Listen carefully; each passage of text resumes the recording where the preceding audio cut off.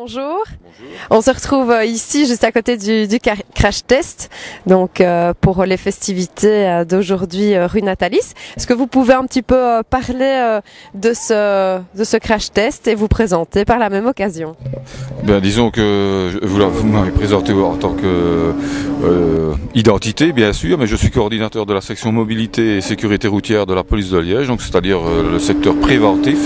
Et dans le secteur préventif, nous avons notamment euh, ce crash test qui est un simulateur de collision frontale à 10 km heure. Donc il s'agit de, de persuader les personnes de l'utilité du port de la ceinture de sécurité. Ça fait quand même mal malgré la ceinture. hein. La casquette n'est pas tombée. Au, moment de la percussion, Qu'est-ce qui se passe? Vous m'arrêtez là? Voilà. Oh là là. Et reprenez comme ça, comme ça va. Vous expliquer un peu le, le matériel qui est utilisé ici. Donc ça, ce sont les menottes euh, qui sont en, les menottes donc qui sont en dotation euh, pour chaque agent de police, les menottes conventionnelles.